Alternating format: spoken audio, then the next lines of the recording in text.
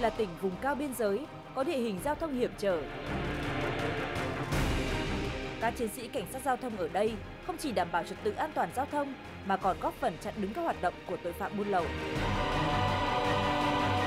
Cùng lắng nghe chia sẻ của họ để hiểu thêm về những khó khăn trong quá trình thực hiện nhiệm vụ qua chương trình Chuyện kể người chiến sĩ 19h45 thứ ba ngày mùng 4 tháng 4 trên INTV.